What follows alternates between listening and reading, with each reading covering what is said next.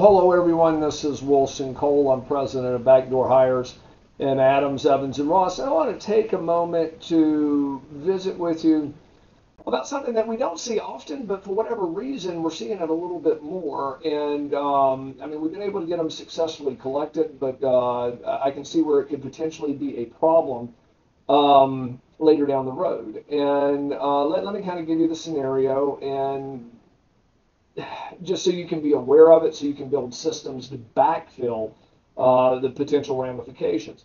We've had a couple of accounts this year where uh, there were uh, our clients presented a candidate. The candidate was turned down for whatever reason, uh, experience, position, whatever, you know, fill in the blank. And then six months later, they were presented uh, by another recruiter and they were hired, but the candidate had been uh, had gotten married and the name had changed. And our argument has been the candidate is the same. Uh, the uh, company they were made aware of had an opening, and uh, therefore, you know, the, the 12 month um, possessory period isn't necessarily to keep the company from going after the candidate, but it's also there to make sure if the candidate goes after that company, that our client is, is still protected. But the argument has been uh, on both times, well, we didn't know that this was the same candidate, uh, and their name had changed, so it wasn't flagged uh, accordingly, and so uh, therefore we don't owe, owe the fee. Now, like I said, there are, uh, we've had two of them come in. Both of them we were able to get resolved without having to send it out to outside attorneys for litigation. Uh, one of them, our collection staff was able to get resolved at, at full fee. The other one at full fee our uh, one of our staff attorneys uh, were able to get it resolved.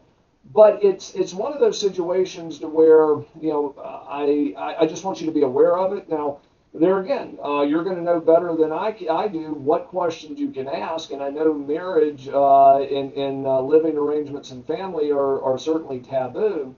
But if you know that the candidate is getting uh, married, you certainly want to keep track of it because once they get married, if, if their name changes, um, then you're going to see that as, um, as an argument if they wind up getting hired, especially if, if they paid another recruiter.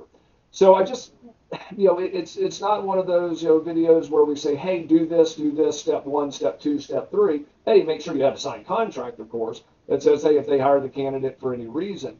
But if you know that the candidate, if they mention to you, hey, if I get this job, you know, I'm, I'm planning on getting married in September, and so I'm going to need a week off uh, for, uh, you know, honeymoon or you know, what, whatever the case may be. Kind of take that as uh, just keep tabs of that candidate, and then also uh, track how you're tracking that candidate. Because if uh, you have uh, Betty Smith listed as your candidate, and you're going out and checking, and all of a sudden it becomes Betty Williams it's going to be tough to uh, to track for uh, even our software because you're looking for exact names. If we can help you find backdoor hires, um, certainly visit our website at backdoorhires.com. Of course, with collections over at Adams, Evens, and Roscoe, staffingdebt.com. Uh, and let us know if we can help you with any collection needs. But just keep track of the candidates. And if you know that there's a name change coming, uh, you, you, may want to address that, uh, whether it's internally or externally, but just be aware of it and track the candidate accordingly. Hey guys, it's Wilson again, and this video was brought to you by Backdoor Hiring Solutions. And if you like the content, make sure that you click the like button. And also, if you want to receive additional uh, videos, then please make sure to subscribe to our channel. If you'd like to learn more about our software, uh, please visit our website at backdoorhires with an S.com.